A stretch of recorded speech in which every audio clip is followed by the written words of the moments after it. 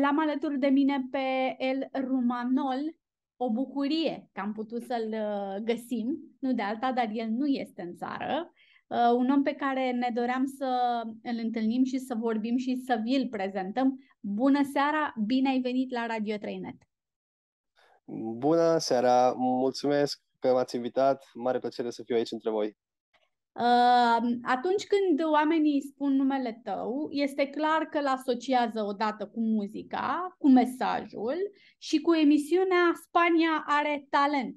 Uh, Spain's Got Talent, ca să zic așa, unde se pare că ai ajuns până în semifinală. Asta se știe despre tine uh, și înainte să intrăm în poveste, spune-mi, te rog frumos, cum s-a simțit să reprezinți uh, prin, prin, prin prezența ta, cum, cum a fost să reprezinți România? Pentru mine este un orgoliu să fiu român. Înțelegi? Nu este o rușine sau este ceva de ascuns. Pentru că mă accept pe mine cum sunt și accept cine sunt, de unde vin uh-huh. și ceea ce reprezint.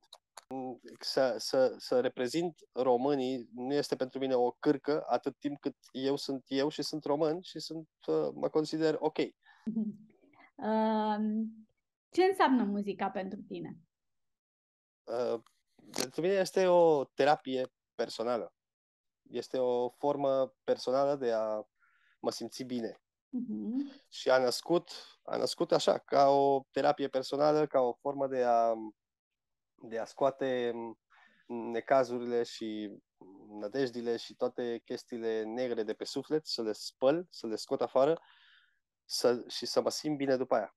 Voiam să te întreb dacă tu uh, ai modele. Dacă modelele tale, reperele tale sunt aceleași ca cele din, uh, nu neapărat copilărie, ca acum 10 ani, de pildă.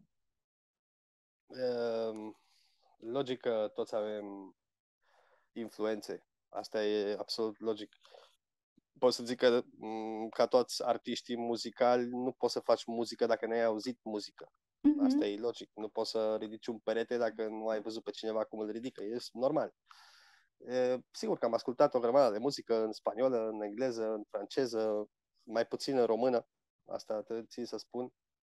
Dar am ascultat și reperele mele sunt uh, persoanele care fac muzică de conștiință, muzică socială, muzică adevăratul uh, rap de înainte de gangster, înainte de ideea asta de, de uh, golan și de gangster și de cine e mai tare. Înainte de asta, rapul născuse ca o idee în care uh, persoanele luptau social pentru drepturile lor. Pe mine mă face muzica fericit care s-a spus, muzica de conștiință, cum ar veni. Aici în Spania zicem rap conciencia, adică rap cu conștiință. Cu mesaj. Cum sunt văzuți acum, în 2022, încă 2022, Uh, românii în Spania? Uh, din ce în ce tot mai bine. Uh, din ce în ce ne-am, ne-am găsit, am arătat Spaniei cine suntem și din ce în ce arătăm tot mai mult. Și asta nu se reușește dacă nu am fi fost cu adevărat valoroși. Înțelegi? Așa că asta este, de fapt, un aplauz la valoarea care o au oamenii. Pentru că până la urmă, fără valoarea asta, nu ajungeam unde suntem. În ziua de astăzi este mult diferit de acum 10 și foarte mult diferit de acum 20. Mm-hmm. Și pot să zic și, și mai mult de acum 30. Așa că, um, încet, încet, la început, prima dată, tu cunoști o persoană, zici, bă, cum o să fie asta, hai să vedem. După aia îți vine un necaz în viața ta, vine și te ajută omul ăsta, începi să-ți dai seama că e băiat bun, după aia cu timpul lângă tine, îl vezi, îi vezi că merge bine și începi să fii prieten bun cu el, pentru că ți-a demonstrat cu timpul. La fel și românii în Spania au nevoie de timp ca să demonstreze cine sunt și să, și să, să se dovedească uh, natura lor, nu? Cum ar veni. Așa că am avut nevoie și noi de timpul nostru și și încă, încă în ziua de astăzi mai este nevoie de, de timp. Nu am ajuns la maxim, dar pot să zic că din ce în ce în Spania românii au un status tot mai înalt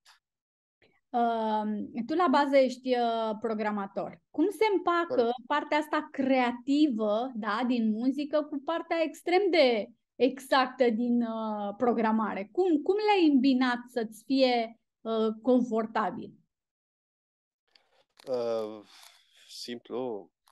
Sunt două chestii diferite, nu au nimic de, nu știu, pentru mine nu, nu se leagă una cu alta. Uh-huh. Uh, da, programarea este o chestie logică, o chestie exactă, cum ai zis tu, și mm, muzica este o chestie de inspirație, o chestie sentimentală, emoțională. Adevărul este că le-am, le-am separate de întotdeauna, întotdeauna le-am avut separate. Nu, una, o chestie a fost poeziile și ceea ce îmi trece prin cap și vreau să scot și alta a fost munca. Trebuie să știi unde ții locul în tot momentul, nu știu. Oricum, în ziua de astăzi tot programez și tot fac muzică. Dar dacă, de exemplu, mi s-a oferit să fiu angajat la, la o discografică, să mă plătească să fac doar muzică și nu am putut rezista mai mult de un an, pentru că uh, aici în Spania este o zicală, um, să traduc în românește, uh, uh, pantofarul tot la pantofului termină. Înțelegi? Așa că vreau să zic că uh, și în anul ăla tot aveam chef de programat, de făcut chestii de, de, de asta. Vreau să zic că este o chestie care îmi place. Îmi place cu Asta e foarte și... bine. Asta e foarte bine, pentru că mulți duc povara unui job pe care îl fac uh, uh, ca să ia bani, pentru că apoi să ajungă să facă de plăcere lucru pe care îl visează, de exemplu muzica. sau E bine când poți să le faci cu plăcere pe amândouă, este senzațional. Corect. Este Corect. senzațional. Așa. Așa, așa. Uh, uh, și pentru că ne raportăm în acest interviu la România și la 1 decembrie, aș vrea să te întreb, de ce iubești tu România? Mm, păi de ce iubești tu pe mama ta? Da? De ce iubești pe mama ta? Sunt foarte asta multe aș, motive. Mhm. Asta aș vrea să întreb pe fiecare care aude. Este uh-huh. răspunsul este același. La aceeași întrebare este același răspuns. Este normal. Ești ca și cum ți-ai iubi mama. Foarte deci, tare. Deci o iubești pentru că ți-a dat viața, acolo te-ai născut, uh, acolo ai început să înveți ce înseamnă viața, nu? Să ai, ai văzut primele chestii, ai simțit, ai auzit, ai pipăit, ai mâncat, uh-huh. ai mirosit primele chestii. Așa că e normal. România este cum ar veni mama mea, asta am zis-o de mai multe ori. Și mm-hmm. da, Spania, este ta- Spania este tatăl meu. Uh, te vezi revenind acasă? Sigur, cum să nu. Mm, este o... Revenind pentru totdeauna? Nu. Da, da, pentru totdeauna. Pentru totdeauna nu este, nu există totdeauna. În... Asta există în capul oamenilor, dar în realitate nu există cuvântul întotdeauna. Înțelegi? Este o o idee care nu se poate ajunge niciodată. Nu există nimica pentru întotdeauna. Și uh, po- poți să zici că mă mut întotdeauna pentru România și la 5 ani să te schimbi. Mm-hmm. Deci, sau poți să zici că mă duc întotdeauna în străinătate, că m-am studiat în România și după aia mm-hmm. uh, nu mai stai acolo întotdeauna. Nu știu. Deci vreau să zic că întotdeauna nu, dar ce mi-ar place este să trăiesc în amândouă deodată, adică să călătoresc între una și alta mai mult.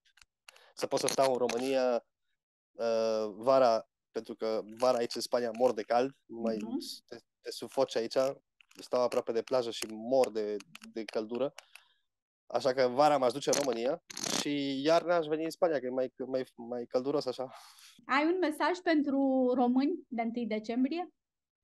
Trebuie să fim orgolioși de noi, de istoria noastră, de sângele nostru și de tot ce ne reprezintă și să ducem mai departe acest orgoliu. Pentru că îți asigur că lumii întregi îi place ceea ce suntem noi. De exemplu, eu am foarte multe persoane în Latinoamerica care ascultă muzica mea și mă uh, văd ce, ce surprinși, ce, ce mult iubesc România și ce, ce, ce fabulă au în capul lor de Transilvania, de România, de wow, de... pentru noi, după aia eu, eu rămân surprins de multe ori, zic, băi, nu, nu mă așteptam la așa ceva. Dar uite că sunt persoane în lume care uh, încă nu-ți dai seama cât de mult te iubește. Mm-hmm. Așa că trebuie, să, trebuie să-ți dai, trebuie să te iubești tu și asta e mesajul pentru români, să vă iubiți, să fiți fericiți, să, să, vă, să fiți orgolioși de cine sunteți, pentru că lumea o să vă iubească pe care.